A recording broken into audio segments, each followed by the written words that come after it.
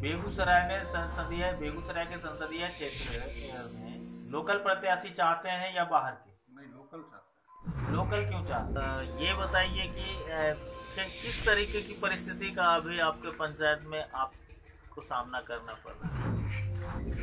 ये परेशानी तो बहुत ज़्यादा है क्योंकि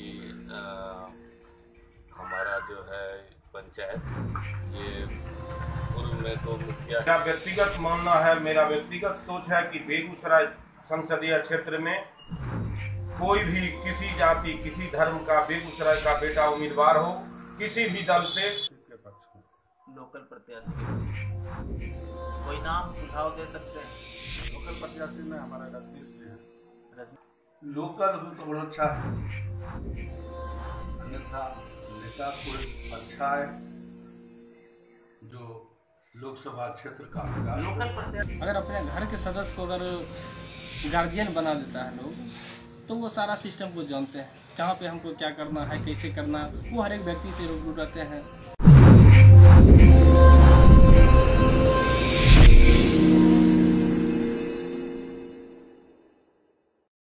बेगूसराय में संसदीय बेगूसराय के संसदीय क्षेत्र में लोकल प्रत्याशी चाहते हैं या बाहर के? नहीं लोकल चाहता लोकल क्यों चाहते हैं?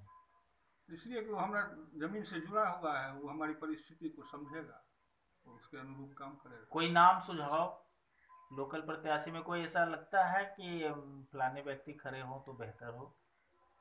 हमने समझ से तो कन्हैया युवक है। ऐसे उससे ज़्यादा अगर कंपेरेटिव हो तो।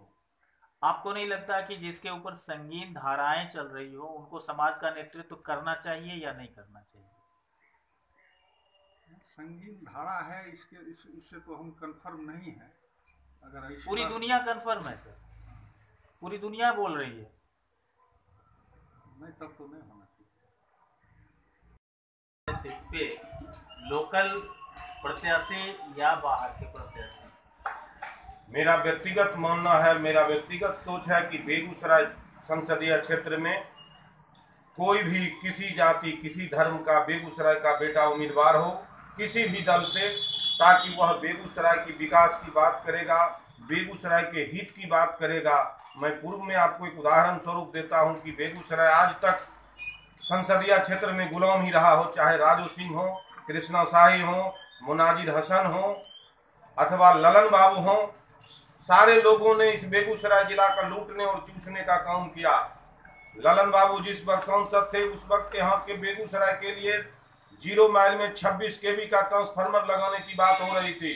लेकिन ललन सिंह दबंग और मज़बूत सरकार के व्यक्ति थे। उन्होंने बेगूसराय ज़ीरो माइल से उठा करके उस ट्रांसफार्मर को उसने शेखपुरा में लगाने का काम किया।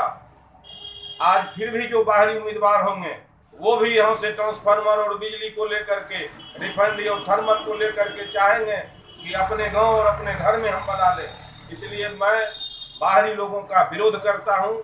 स्थानीय लोग की उम्मीदवारी हो, जिस दल में भी स्थानीय लोग की उम्मीदवारी होगी, वो दल का हम लोग समर्थन करेंगे, बाहरी लोग का हम लोग विरोध करेंगे। में जो अलग से प्रत्याशी आ जाते हैं आपको लगता है कि वो समुचित विकास का कदम बढ़ा सकेंगे यहाँ के लिए? देखिए सर जी, हमसे अगर पूछते हैं तो हम यही समझते हैं कि आज हम अपने गाँव पंचायत हमरा हुआ हैबतपुर, क्या हम चल जाएँगे यहाँ से जाकर के मोकमा? और मोकमा में जाएँगे और हमको एक महीना हम लोग कह देगा कि सारे मोकमा को हाल बता दीजिए आप, हम नहीं बता पाएँगे। ताकि वहाँ को काजभार हमको कहेगा तुरंत में संभाल लीजिए हम नहीं संभाल पाएँगे। हम्म। तो गाँव गाँव होता है घर घर होता है। अपना घर के घर होता है। हम्म। तो दूसरे आदमी पर हम भरोसा नहीं कर सकेंगे। हम जब भी भरोसा करेंगे तो घर के ही आदमी भरोसा करेंगे। हम दूसरे आदमी भरोसा नहीं कर सकते। ताकि हम अपने घर पे ही भरोसा करें। और मेरा घर ठीक रहेगा। सारी बात मेरा ठीक रहेगा। यानी आप स्थानीय नेतृत्व के समर्थन में चाहते हैं? हम स्थानीय को समर्थन करेंगे। स्थानीय को समर्थन। स्थानीय को समर्थन करेंगे। कोई ऐसा नाम जो, जो, लगे कि बेगूसराय की धरती को सुशोभित कर सकता है? वो तो अभी हम लोग को पता नहीं है। वो तो समय आने से उस उस बात को चॉइस कर लिया जाएगा। मुखिया जी, आपका बहुत बहुत स्वागत है हमारे चैनल में। आप ये बताइए कि किस तरीके की परिस्थिति का अभी आपके पंचायत में आपको सामना करना पड़ रहा है? ये परेशानी तो बहुत ज़्यादा है, क्योंकि हमारा जो है पंचायत, ये पूर्व में तो मुखिया की जो है लड़ाई में जो इससे पहले अ, 2016 से पहले जो मुखिया जी थे और बाद में जो मुखिया फिर बने 2016 में जीत के चुनाव आए। तो 2016 में जो चुनाव जीत के आए सुधांशु कुमार उनका एज कम था। एज कम था इसलिए उन पे जो है चुनाव आयोग की ओर से जो उससे पहले जो मुखिया जी थे वो चुनाव आयोग में पेश किए तो उनका रिजेक्ट हो गया। उनका पद समाप्त हो गया। तो उसके बाद पुनः इलेक्शन हुआ, मध्यावधि चुनाव हुआ। तो उसमें चुनाव तो हो गया, लेकिन काउंटिंग नहीं। इसलिए काउंटिंग जो है तो ये सुधांशु कुमार जो थे, ये पुनः जो है हाईकोर्ट में केस कर दिए। तो काउंटिंग रुक गया। तो हम तो उस वार्ड सदस्य में से ही किसी को मुखिया बना के प्रभार दिया गया।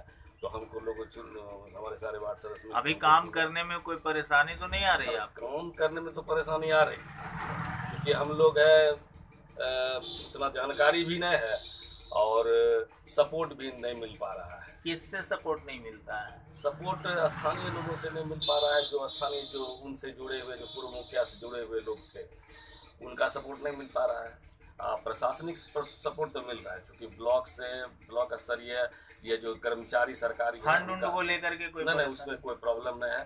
काम भी हम चूँकि बहुत सारा कर दिए हैं। क्या सब किए हैं काम में?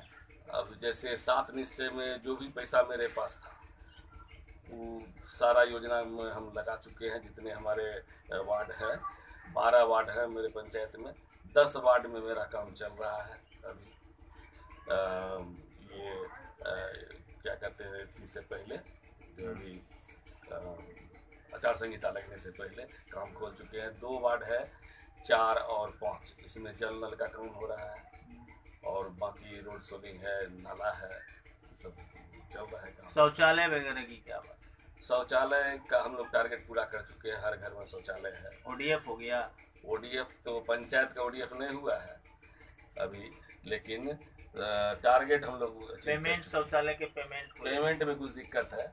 पेमेंट में लगभग फिफ्टी परसेंट पेमेंट हुआ है फिफ्टी परसेंट रुका हुआ है। रुकता क्यों है पेमेंट उसमें सर कुछ है ऐसी बात कि जो पूर्व में एनजीओ के द्वारा जो लिए हुए थे कुछ लोग लिए हुए थे एनजीओ के द्वारा भी उन वो भी अप्लाई कर दिए जो कि उनका पैसा नहीं आएगा। और कुछ जो है ग्यारह बारह ग्यारह बारह में जो जनगणना हुआ था उसमें जो लिखा दिए थे कि भाई मेरे पास शौचालय है। और वो फिर से अगर अप्लाई कर दिए हैं शौचालय के लिए पुनः बना के या उनका बाल बच्चा अगर बना दिया है पैखाना और अप्लाई किए हैं तो पिता का नाम है तो इससे कुछ प्रॉब्लम है ये सब लेके कुछ अपना भी प्रॉब्लम है और कुछ सरकार की ओर से भी कुछ धीमा गति से चल रहा है। केबल कभी खराब होता है कभी कुछ होता है। इसलिए थोड़ा सा स्लो है लेकिन पेमेंट हो रहा है। पंचायत की विधि व्यवस्था ठीक है। आपसी वातावरण लोगों के बीच। सब बढ़िया है है। सब अच्छा है। हाँ। अच्छा। बेगूसराय संसदीय क्षेत्र में बाहर के प्रत्याशी बेहतर काम करेंगे या लोकल प्रत्याशी बेहतर काम करेंगे? निश्चित तौर पर लोकल प्रत्याशी बेहतर काम करेंगे। यहाँ की क्या स्थिति है? एनडीए या महागठबंधन? अभी तो धीरे धीरे फिगर स्पष्ट हो ही नहीं रहा है। महागठबंधन का पता नहीं चल रहा है क्या होगा। आजकल आजकल कर रहा है। आपके आप किसकी सरकार चाहते हैं देश में? सरकार तो मोदी की ही चाहते हैं। मोदी की चाहते हैं। जी। आपको लगता है कि बेगूसराय से एनडीए जीतेगी? अभी स्पष्ट समीकरण तो नज़र नहीं आ रहा है। स्थानीय उम्मीदवार में किसी का नाम बताना चाहेंगे कि ये बेहतर अपनी तरफ़ से हम कन्हैया को पसंद करते हैं। कन्हैया को पसंद करते हैं। बार बार बेगूसराय संसदीय क्षेत्र में बाहर से प्रत्याशी आ जाते हैं। आपको लगता है कि बाहर के प्रत्याशी अपने क्षेत्र का विकास कर सकेंगे? देखिए सबसे बड़ी बात है कि अगर अपने घर के सदस्य को अगर गार्जियन बना देता है लोग तो वो सारा सिस्टम को जानते हैं, कहाँ पे हमको क्या करना है, कैसे करना वो हर एक व्यक्ति से रूबरू रहते हैं या वो किस तरह से वहाँ पे काम कर रहा है, वो उनके पास ये रहता है।